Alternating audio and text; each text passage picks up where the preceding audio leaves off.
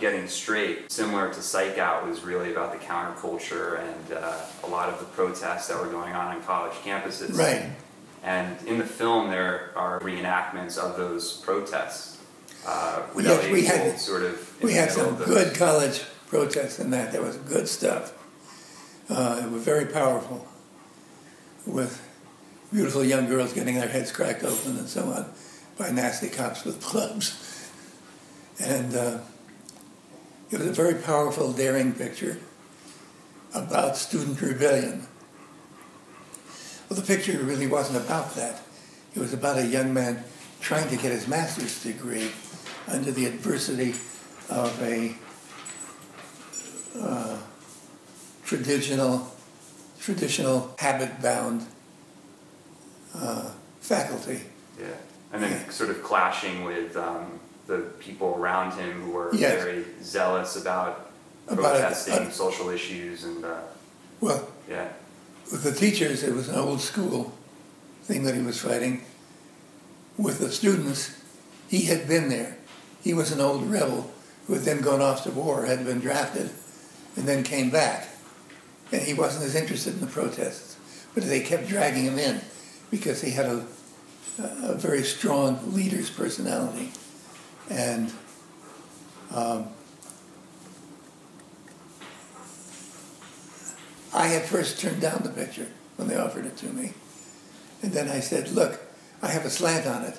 I would like to play this story against current events, the college rebellion, since it takes place in a college that's not very far-fetched. So they went for it.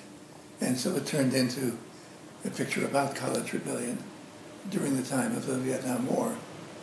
And uh, therefore, was one of the first to basically make that statement.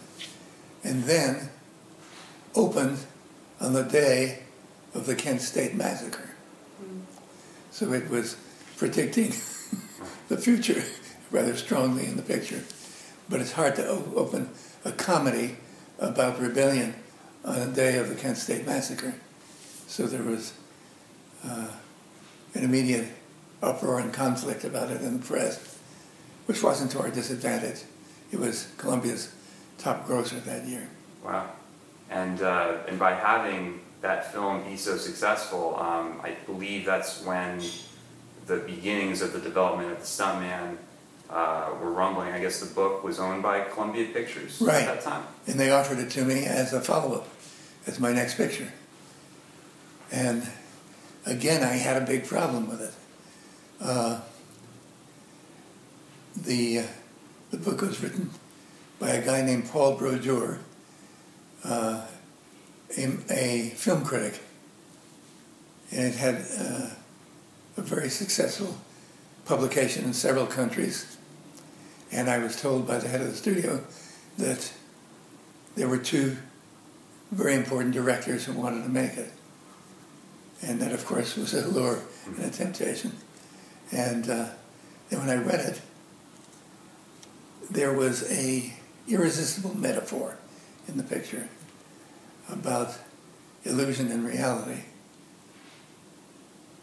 A good, strong clothesline to hang some thematic laundry out to dry. But uh, the book, I thought made a mistake, at least in my terms. Uh, the leading characters were all crazy. It's an easy out when, because of crazy people, you don't have to motivate. You don't have to worry about why they're doing things. So I kept coming back to it in my mind. And I decided I could explore illusion and reality thematically in the picture, the idea of a fugitive hiding his identity by posing as a stuntman, completely unfamiliar with his surroundings, he, and, and encouraged to do very dangerous stunts. He starts becoming paranoid and, and begins to believe the director of the film is trying to kill him. And it seemed like a, a good vehicle for that exploration. And I, I wrote a treatment, like a 150 page treatment, exploring that idea and gave it to the studio. And they said, I said, if you let me rewrite the screenplay this way, I'll make it. And they said yes. And I hired Larry Marcus to do the screenplay with me. And uh, I was in love with it when we finished and offered it to the studio. And they weren't as enthusiastic as I was. They kept giving me long list of absurd notes that I became fed up enough with to where I wrote a 30 page essay about the notes and said no soap on the picture. And I took it on turnaround. My agent assuring me, Dick, we'll have a deal at another studio inside of a month, I promise. Inside of a month, we had been turned down by every other studio in town. Wow. And uh, therefore, it took 10 years from script to screen to get that picture made. But it was worth it when it did get made for me. It was Mel Simon. Was the financier on the film an independent financier? He was a shopping mall magnate. It was this who had just gotten into film, started a film company, and uh, I went to pitch him in New York. I was tipped off that he might be interested, and uh, somebody made the connection for me, and the pitch was going very good, but I ran out of time, and so I hitchhiked a ride with him in his jet, and we were flying and talking, and I was riding backwards over Providence, Rhode Island, when the deal closed, and it stuck. Uh, it was amazing. Um, I can't tell you how many meetings I've had at the Polo Lounge where two guys sit across the table from each other, each claiming to have both of the money, half the money, and both of us are lying. and here was a man with all the money who said yes, although unfortunately it was two years before we actually got the money from him to do it. But during those two years, there was a lot of wiggling and squirming and hiring actors and finding locations and doing the preparations that you should do in three months. You always have in mind to have Peter O'Toole as the director. Eli Cross. Peter is uh, was my favorite actor. Uh, If I had a name, the best performance I'd ever seen on the screen, it would probably be Peter in Becket.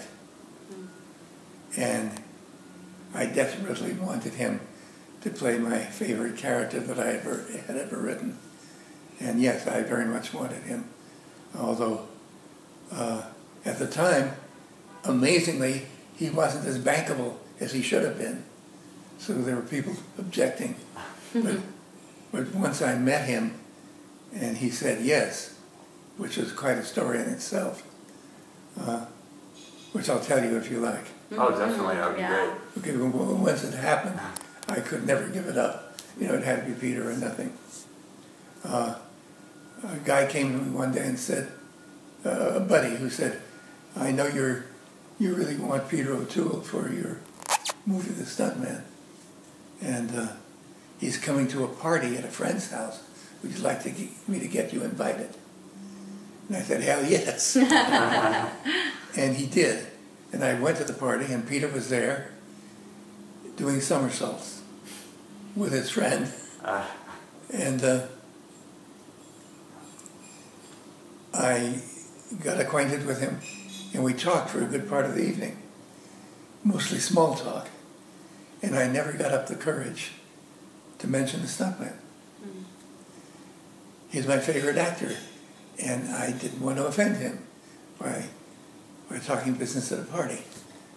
And when he left, I was kicking myself, and you asshole, you chicken shit, how could you not approach him with it? And then fate, I guess, got upset about it, and the guy he was with told him outside that that guy you were talking to has made some interesting films, including one called Freebie and the Bean.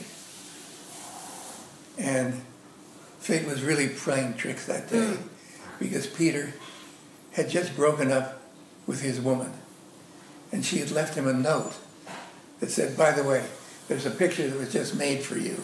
It's called Freebie and the Bean. Ah, It starts with a cat pissing in a dustbin, meaning a garbage can, and uh, there are two crooked policemen who are rummaging through it, and it gets progressively worse, and there's lots of phony blood. And he said, uh, uh, Peter came back in, and he said, "Did you direct Freebie and the Bean?" And I said, "Yes, I did." He said, "Oh, I like that picture very much." And I said, "I've got a screenplay for you." and he took it to London, and uh, called me a couple of weeks later, and he said, "I indelibly remember." He said, "Richard, I am an intelligent, literate man. If you don't let me play the part, I will kill you." uh-huh. I figured that's about the best response I could possibly get. Then the, the lead, the fugitive, Steve Railsback. Right. Uh, was that a bit of a search to find him? Uh, It was. Because he was a very unique person at the time. He hadn't really been a lead Right. in any other film. Actually, his agent did a brilliant job. He knew my weak points, uh, and uh, he was Steve was a protege of Elia Kazan, who I have enormous respect for. And uh, Was he at the Actors Studio, Steve Railsback? Yeah. Okay. he heavily into the Actors studio, and and he had starred in a minor picture, small picture, for Kazan. His agent gave him the script for me, and he called me up and said, "I've read it." I said, "Would you like to come to the house and talk?" And he did, and he was sitting there, and I was sitting there, I asked him if he wanted to read, and we read together, and. Uh, I was stunned at the depth with which he worked and the chances he was willing to take. He was kind of a crazy West Texas kid with his head shaved off because he had just had it shaved for doing Manson. Nobody had seen any footage of that yet because it was in the editing room. But uh, after working with him for 15 or 20 minutes, I said to him uh, impulsively, You're Cameron. And that stuck. He played the part. I think the location having at, that, at the Hotel Coronado in San Diego really added a lot to it. Were all the stunts really done on the hotel itself? Yeah, Wow. it was really. Was that difficult to get permission from the hotel to allow, you know, because people were jumping off the hotel and Well, doing so I think they uh, probably didn't bargain for the extent we would go to. But uh, Pauline Kael, who was the goddess of critic, world critics at that point, said, if there is such a thing as a masterpiece of a location, this is it. And I did nearly give it up because it was covered with palm trees. And in my mind, this was an austere European location. Hmm. And I couldn't see where all this tropical foliage fit. And then I figured out that that wasn't my problem. That was Peter O'Toole's problem. Because I was making a contemporary picture where you could see palm trees and parking lots or anything you wanted to. He was making a period piece that supposedly was in Europe during World War One, and the movie within the movie, and he couldn't show the palm trees in his movie. So I, I turned that problem over to him, and I, I wrote a little scene, which he delivered in his brilliant and uh, innovative style, uh, where he's screaming about palm trees, palm trees. Everywhere you look, there are palm trees, and he's riding around in his magic machine. Uh, the, the, And the crane. the, the basket hunt from Yeah, the crane, yeah. And he swoops down on the actors and complaining about the palm trees. And it's a wonderful ex- scene that explains the dilemma and gets rid of it. And it allowed me to use the location. Did Peter O'Toole ever talk to you about uh, what director may have inspired his performance, or was it really something that he kind of came up with? Uh, I mean, was he? Do you think he was trying to impersonate someone in particular, another He- director, or he says it was the summation of his experience. Uh, uh, and I'm sure that whatever he was saying was true. Uh, but uh,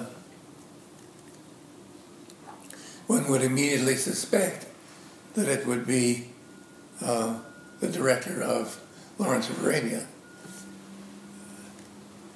And some of the actors said it was me, and I think what Peter said was the truth, that he was really doing it, it was really Peter, spontaneously as he was going along.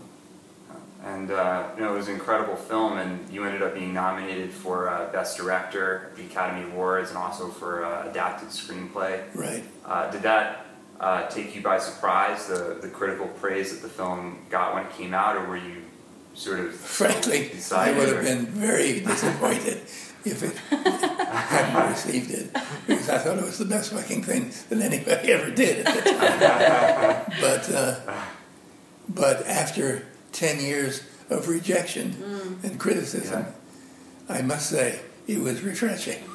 Uh, after the Stuntman was uh, released and you got the you know you got the Academy Award nominations and there was so much praise, did you feel that um, you had a lot of freedom to go on to make another project, or were you still sort of fighting the same fight to get a movie made that you had always been? I found out over the years that it never really gets easier.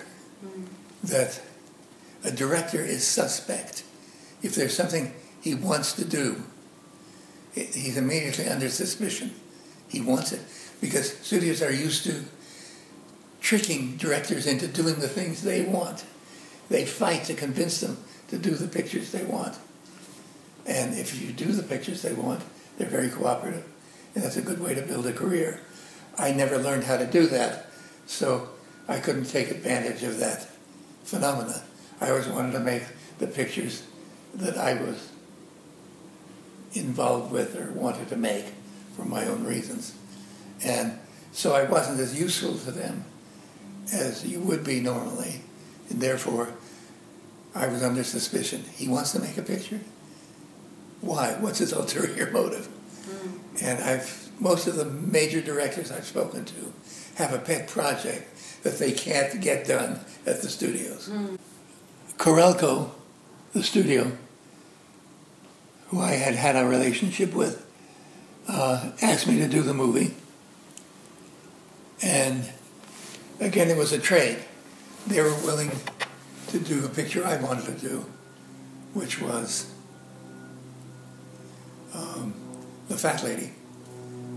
If I would do Color of Night. They had Bruce Willis attached.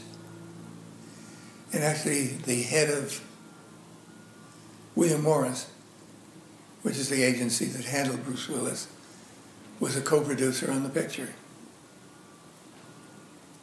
And um, I agreed to do it if I could do the rewrite I wanted. And I did an extensive rewrite. Uh, and because the, what interested me in it was it was a, a therapy group. And my brother is a psychoanalyst. And so there was a certain amount of background in my life relating to that subject matter. And uh, everybody in the group was in love with and banging the same girl. But nobody else knew it Yeah. about. Everybody thought it was their girl. And that's what we had going in uh, Color of Night. And uh, it was a complex psychological story, psychological comedy, really. Comedy murder story. And uh, uh, that hit an unfortunate turn of events. The turn of events was we cut it on a machine, an editing machine, that was so interesting and so so much fun to use. It was the editing machine that had a shark running around. And anything you wanted to get rid of, the shark would eat it for you. You push a button, the shark would gobble it up. It was half pinball machine, half editing machine. Oh, this was a uh, digital? Yeah. editing? Okay. Yeah. And uh, everybody wanted to have a cut in that. Uh-huh. And the producer, I had a deal with the producer that if he ever wanted to, didn't agree with my cut of the film, normally I would get final cut. But he said he couldn't give it to me in this case because of his deal with the studio. But we made an arrangement where if he wanted to challenge my cut, he could make a cut. We would have identical previews in the same city, uh, same theater, and the winning numbers would be the final cut. He wanted to play, and he did his cut. And we had the previews. And I won. So he fired me. I went to the Directors Guild, and they said, "You can't fire a director in this in this situation. It's just not part of the contract." So we went to arbitration. I had the reputation because I had been a publicity man as a kid in that advertising agency of being a good publicity man. And I had a better reputation than I really deserved. But he hired the best publicity man in the business, a really high powered guy, and launched a publicity campaign against me that weekend, mm. attacking me in the press. He had several key columnists and articles in the various papers. And you always do that, start a publicity war on a Friday, Yeah. because then you can't get answered till Monday. And so that weekend, I was busy writing the rebuttals that I had planned for the Monday paper when I had a heart attack. Hmm. And I realized I can't win this from a hospital bed while I was in the hospital bed. That I'm not going to win this publicity war or the, this cut. Uh, but I did learn a true lesson, the true meaning of final cut. It's the one they make in your chest during the bypass surgery. I went into him and I said, Look, I'm going to take my name off the picture. I was lying because you can't really desert your cast and leave them holding the bag. He had done a terrible cut of the picture, he had destroyed it. Uh, I do scenes like Shaggy Dog stories. They're jokes with a punchline at the end. He'd gone along and called a, cut all the punchlines out. So it was just one big Shaggy Dog story without a punchline. And uh, I said to him, I will leave my name on the picture if you give me the European cut and and the uh, um, video cut in Yeah. my version. And he said, I can't give you European because it's opening day and date. It's too late. But I'll give you the video. So I said, okay, it's the only thing I could get at that point. So I recut the picture because they had destroyed my cut and had to get the code seal on it again and so on. And that was released in my version in on the video, which is a good film, but it had already been reviewed badly as a movie. I took it to the three key critics I could find New York, uh, Chicago, and I've forgotten where else, in London, and got them to re review the picture in my version. And they all gave it rave reviews, which gave me the satisfaction of saying, see, I was right. Uh-huh. It didn't mean anything. The, the world didn't know anything about it, you know. I think it is to create a world, populate it, and blow life into it. That the director makes three pictures, or a filmmaker makes three pictures the one he writes, the one he shoots, and the one he edits. And they had better be three different pictures. Hmm. He has to contribute seriously to each one, and hopefully it takes on a new complexion because each medium offers new possibilities. And if it's a really good picture, it will have realized its potential in all three of those areas. Yeah. But I think the picture lives or dies for me on performance. More than screenplay, more than visuals, more than story. Performance is the essence of the movie. What has been the, the proudest uh, moment of your career as a film director? Uh, walking